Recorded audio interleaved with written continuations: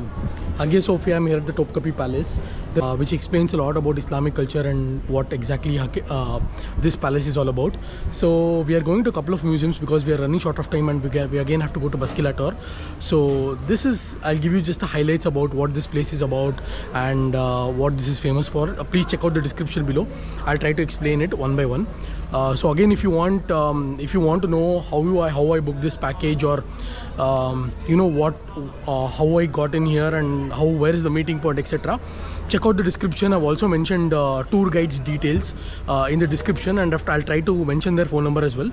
So instead of booking through the link I give, you can also book through the tour guide operator, which will um, which will uh, be reasonable for you in terms of in terms of cost, and you can directly reach out the tour company through WhatsApp, and they're going to support you or when you have to come or what time uh, your tour would be, and depending upon your schedule, you can plan that accordingly.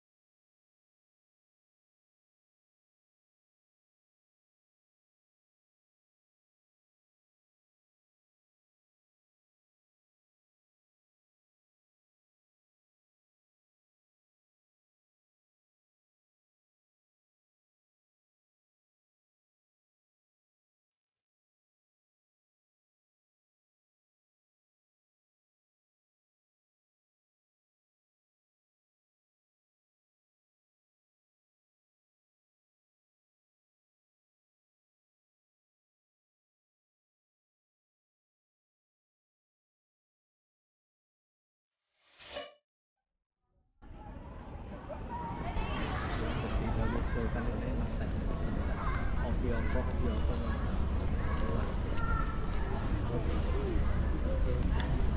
kira-kira ya berapa sama aja itu kan orang suka barista iya.